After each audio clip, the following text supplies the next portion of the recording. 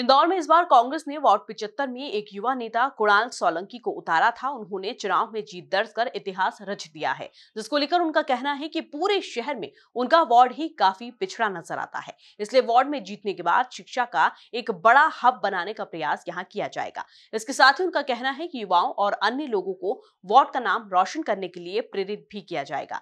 इसी मुद्दे पर कांग्रेस के वार्ड क्रमांक पचहत्तर से नवनिर्वाचित पार्षद कुणाल सोलंकी से खास बातचीत की हमारे संवाददाता धर्मेंद्र यादव ने। इस वक्त वार्ड वार्ड सेवंती से कुणाल जी हमारे साथ मौजूद हैं। वो यहाँ पर कांग्रेस से प्रत्याशी थे और यहाँ जो पार्षद का चुनाव जीत चुके हैं क्योंकि बीजेपी का बीजेपी और कांग्रेस का काफ़ी टफ यहाँ पर मुकाबला रहा है पार्षद में। तो उसी बीच ये जो है कांग्रेस से अपनी सीट निकाल के यहाँ पर ला चुके हैं। क्या मानते हैं जो वार्ड जिस प्रकार से है? काफ़ी बड़ा वार्ड भी है और काफ़ी प्राथमिकताएँ भी वहाँ पर वार्ड में है। सबसे पहली प्राथमिकता क्या रहेगी आपकी वार्ड सबसे पहले आपके माध्यम से मैं मेरे पूरे वार्ड पिछहत्तर के पालदा और नायता मुडला के परिवार को धन्यवाद करना चाहता हूँ कि उन्होंने मुझे एक आशीर्वाद के रूप में आज दिया है। दूसरा, वहाँ पे प्राथमिकता के तौर पे ये है कि वो, ये प्रदेश में और देश में सबसे नम नंबर वन पे हमारा इंदौर शहर है। पर वही वार्ड ऐसा है पूरे इंदौर शहर में, मुझे ऐसा लगता है कि वही वार्ड सबसे पीछे है, शहर में भी और देश में भी। तो उसको मैं कैसे भी करके आदर्श वार्ड बना के उसको सबसे पहले आगे नंबर वन पे वार्ड बनाना चाहता हूँ, ये मेरा पूरा प्रयास है वहाँ के लिए।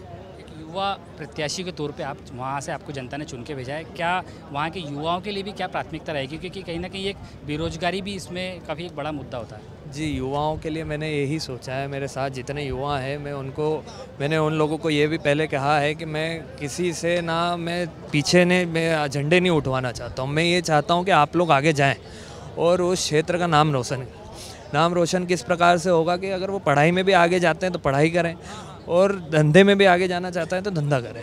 पर मैं उनके लिए ये है कि मैंने कोचिंग इंस्टीट्यूट से भी, बहुत सारे कोचिंग इंस्टीट्यूट से भी बात करी है कि उनके लिए वहाँ पे अगर मुझे मौका दिया है तो मैं उनको वहाँ कोचिंग इंस्टीट्यूट्स भी पहुँचाने के प्रयास पूरी करे हैं कि वहाँ पे कोचिंग बच्चों को कहीं दूर नहीं जाना पड़े। वैसे बहरकुआ क्षेत्र पास में है वहाँ से, पर पालदा में ही आ जाए तो वो ज़्यादा अच्छा है। यहाँ पर युवाओं को ले पे जो लेके काफ़ी उम्मीदें युवाओं ने लगाई थी और उसी को लेकर जो प्रत्याशी है उनको चुन के यहाँ पर भेजा है और युवाओं के लिए भी कई ऐसे काम है जो उनको करना है और उसके वादे भी उन लोगों ने किए थे।